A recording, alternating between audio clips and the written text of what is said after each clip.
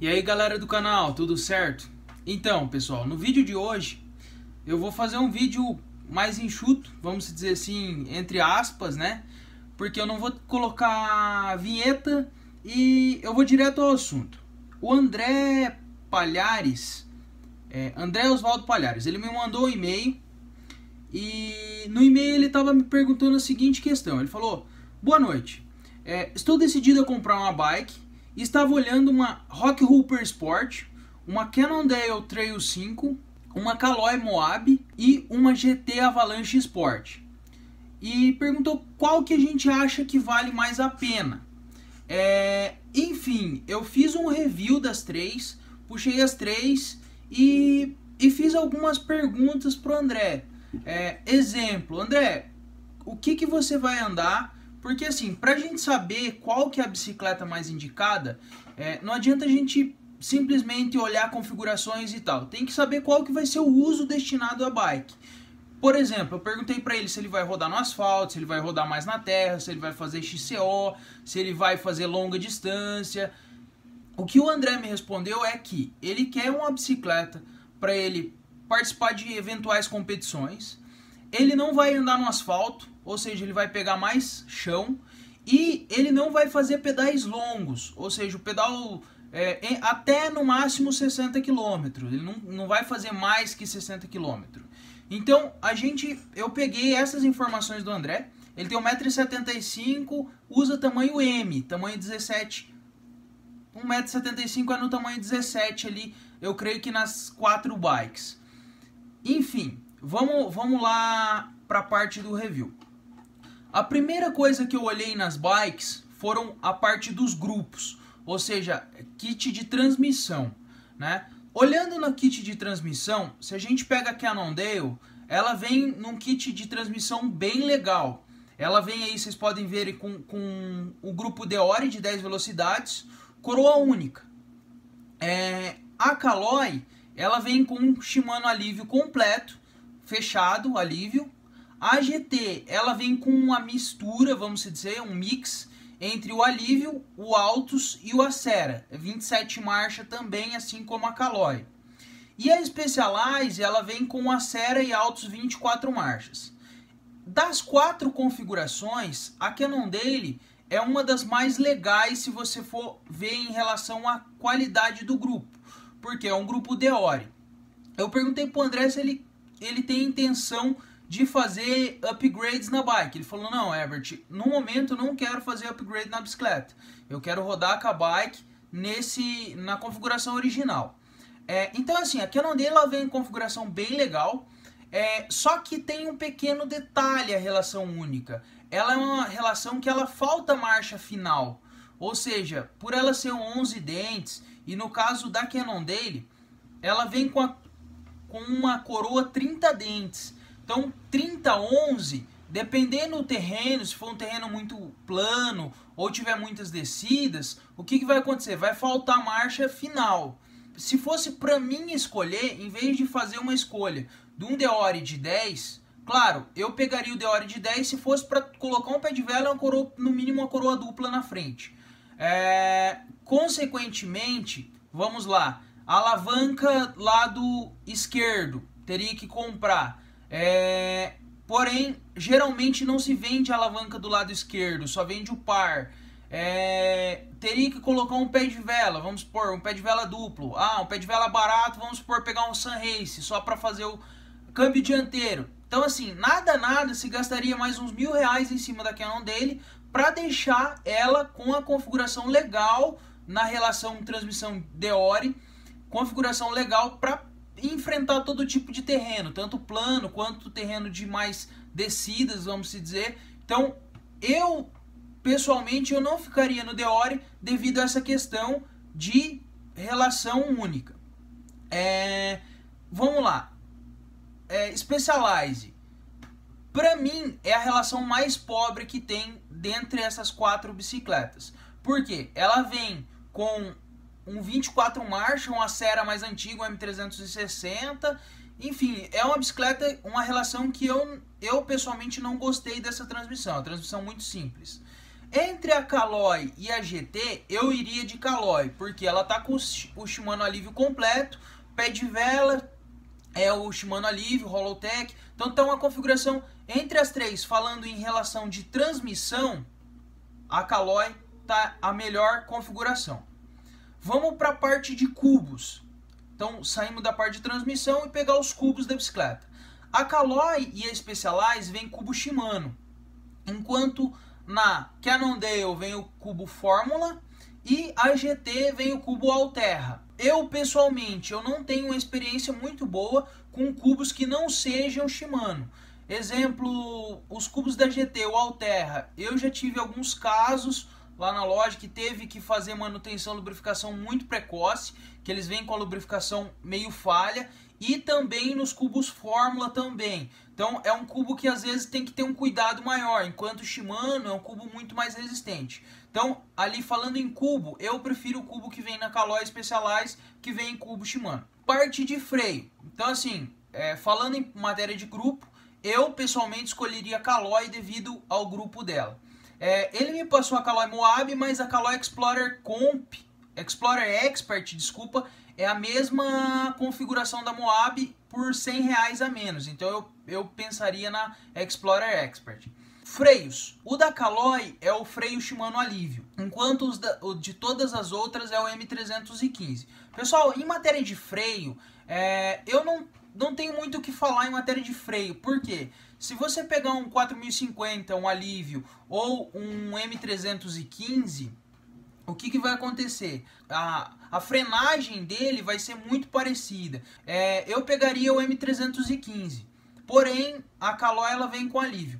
Outro detalhe que eu não gosto, eu pessoalmente não gosto do Shimano Alívio, o 4050, o freio, é devido ele vir integrado com a maçaneta. Isso faz com que a, hora que dá um pau no freio ou um pau na alavanca, você tem que trocar o conjunto inteiro. Então eu pessoalmente eu prefiro o M4000, que é o freio que vem sem a maçaneta. Mas enfim, é, nesse caso eu preferiria o freio M315 das outras bikes que ele vem desmembrado da alavanca. Falando em matéria de suspensão, tanto a Caloi quanto a Cannondale vem com a RockShox XC30, enquanto a Specialized e a GT vem com Suntor XCT. Pessoal, é, entre as suspensões, entre a Suntor e entre a RockShox, eu pessoalmente gosto muito do funcionamento da Suntor, ou seja, o a Suntor ela tem um funcionamento mais macia, a RockShox ela tem um funcionamento um pouco mais duro, porém a manutenção dela é melhor. Como nenhuma delas são a ar, é, eu iria de Suntor. Hora que estourasse a suspensão, como ela não tem manutenção, eu jogaria uma ar na bike. Então eu iria de Suntor devido ao funcionamento, porque eu prefiro uma suspensão mais confortável, suspensão mais macia. É, vamos falar em pneus, que também é um dos itens muito importantes da bike. A Caloi vem um pneu Rubena, a Specialized tá com os pneus da própria Specialized, a Cannondale vem com os pneus WTB 2.25 e a GT vem com os pneus Alterra. Entre os pneus, o pneu que eu pessoalmente mais gostei é a configuração da Specialized, devido à relação dos pneus serem diferentes. Nessa bike ela já traz um ground control na frente, um pneu mais cravudo, para dar uma tração melhor em curva, e um pneu com cravos mais baixos na traseira. Então, em matéria de configuração, a Specialized ela está bem melhor em relação a pneus. É, e eles vêm com também com a parte de antifuro interno, mas enfim, é mais por questão do, da configuração dos pneus mesmo.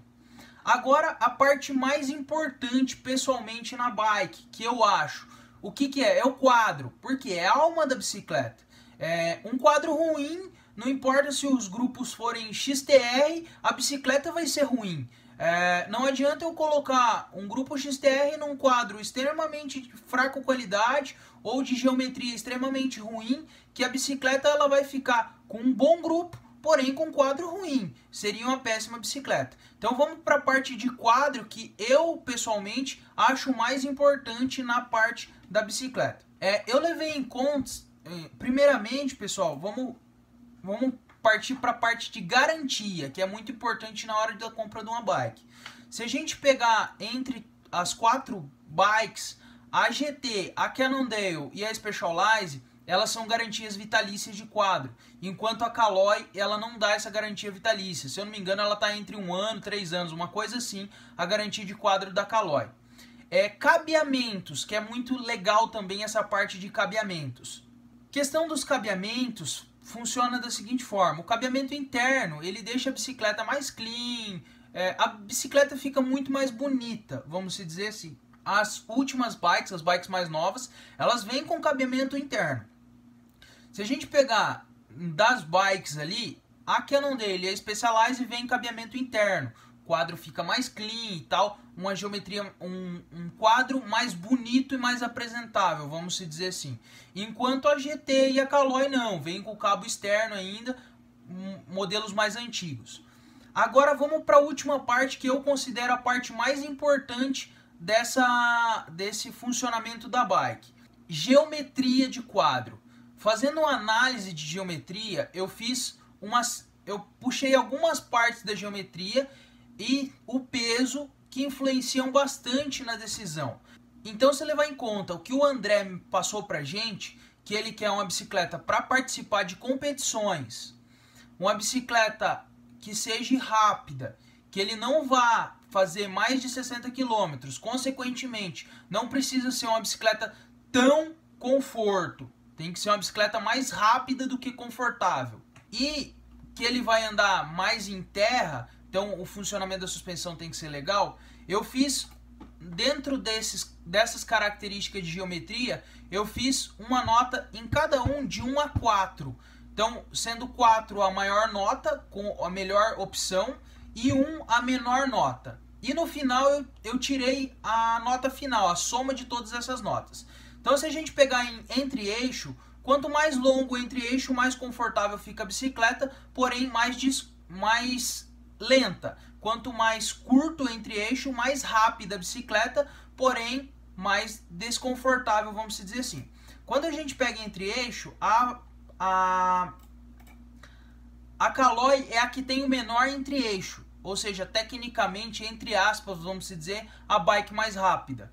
É, então ela re recebeu nota 4, enquanto a, a que vem por seguir é a Specialized, nota 3. A GT, a Caloi, ela vem com um, 1083 milímetros, a Specialized 1104, a GT bem próximo 1107 e a Canon dele 1140, que ela é bem mais longa que as outras.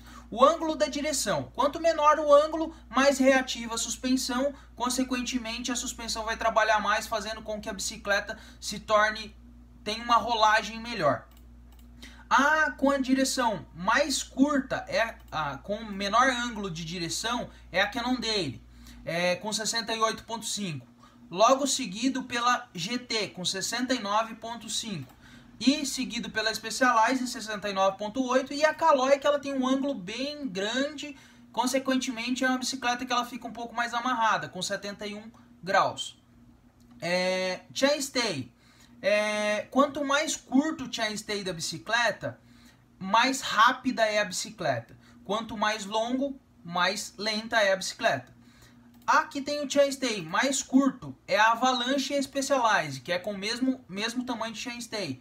435 milímetros. Logo seguido pela Caloi, que é 438, e, um, e 10 milímetros a mais a Cannondale, 445.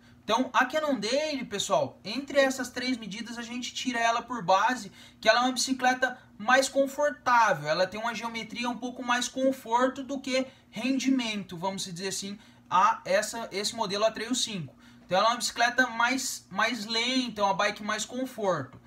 Então, vamos se dizer assim, automaticamente eu tiraria ela de questão por questão da geometria ser mais confortável. E o André ele quer uma bicicleta um pouco mais rápida do que confortável. Então ficaria ali a Caloi GT. Red Tube. O ângulo do Red Tube é, quer dizer, o tamanho do head tube vai influenciar se a bicicleta ela fica com a frente mais alta ou a frente mais baixa. Então, quanto mais baixa a frente, mais agressiva a pilotagem. É, a, a Specialized ela tem a frente 95 milímetros. a GT 100mm, a Caloi 110mm e a Cannondale 115mm. Então, entre essas, a Specialized. Top Tube, pessoal. O comprimento do Top Tube. Pelas medidas que o André me passou de altura, tamanho de cavalo, tamanho de tronco, ele precisa de uma bike mais curta, porque ele tem o cavalo muito longo, porém o tronco mais curto. Consequentemente, a bike com a frente mais curta é a Caloi, seguido 590, seguido pela Specialized 595, a GT e a Cannondale 610. Então, a, tanto a GT quanto a Cannondale, ela tem a frente bem longa. É, daí a questão da altura do movimento central. Então, se ele vai participar de um XCO, pegar uma trilha, ele é de Minas, se eu não me engano. Minas tem muita trilha, é uma região que eu quero conhecer, acho muito legal lá. Então, assim, na parte das trilhas, o movimento central mais baixo faz com que a bicicleta pegue mais fácil em pedras, em gaps. A Specialized, ela tem 312.5 de altura do chão ao, movimento, ao meio do movimento central. A, a GT é bem próximo, que é 312 a 5, 5 milímetros ali. É, é meio milímetro, desculpa e a Caloi 308. Então o movimento central da Caloi é bem baixo. E quanto ao peso, pessoal, é, ali em relação a peso de quadro, a Specialized, a Canon dele está bem próximo o peso delas, enquanto seguido pela Caloi, que é um pouquinho mais pesado, e o quadro da GT, que é bem mais pesado. Se a gente fosse fazer uma nota geral, a soma de todas essas notas que eu dei, a Specialized ela teria uma nota de 24 pontos, a GT 19 pontos, a Caloi 17 pontos e a Cannondale 15 pontos. Então, assim, fazendo um resumo geral, é, Caloi, Specialized, Cannondale e GT, esses quatro modelos. Eu eliminaria a Cannondale devido à geometria. Não atende, é, não atende os requisitos, vamos dizer assim, de geometria do uso que ele me passou. Apesar de ser um grupo legal, uma configuração bem legal, eu eliminaria ela devido a essa questão. A, a, a Caloi é uma bike bem legal, porém, com a configuração bem legal. Foi a que eu escolhi por matéria de configuração. Porém, se falar em geometria, ela é uma bike bem amarrada. Ela não é tão confortável quanto a Canon dele, porém ela é mais amarrada devido ao ângulo dela ser um ângulo mais retraído. É, eu ficaria entre a Specialized e a GT. Falando em matéria de valores, a Specialized, o preço dela é 3.499, preço que está no site. A Cannondale, 3.849. A Caloi, 3.599. E a GT, 2.999. Eu ficaria ali entre a Specialized e a GT. É, Valores, a GT está mais interessante, com a configuração um pouco melhor, porém, eu, agora falando assim, matéria de pessoalmente, então eu espero que vocês deixem também nos comentários qual seria a escolha de cada um. Eu escolheria Specialize devido à seguinte questão. O quadro, em matéria de geometria, ele está muito mais avançado em matéria de geometria. Em matéria de suspensão, as duas são a mesma suspensão. O que ficaria um pouco mais retraído na, na é o grupo, que é 24 marchas. Porém, para transformar ela para 27, às vezes até mesmo na loja, quando for comprar, vai dar uma diferença aí de 200 reais. Então compensaria pegar uma bike com a geometria já bem mais top e eventualmente, que nem o André a princípio ele falou que não tem interesse de fazer modificações na bicicleta. Então, rodar com a bicicleta e depois fazendo upgrades. Mas eu, pessoalmente, eu acho bem interessante isso aí. Ela tem um quadro que ela suporta um upgrade mais para frente e ela tem o cabeamento interno, enfim. Eu, a minha escolha seria pela Specialized Rock Hooper devido a essa questão.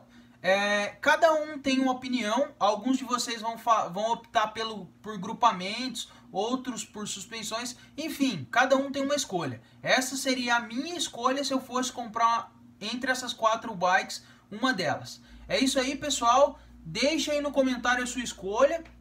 Espero que vocês tenham gostado do, desse vídeo. É isso aí. Deixa o joinha aí no nosso vídeo, se inscreva no nosso canal. É isso aí. Valeu!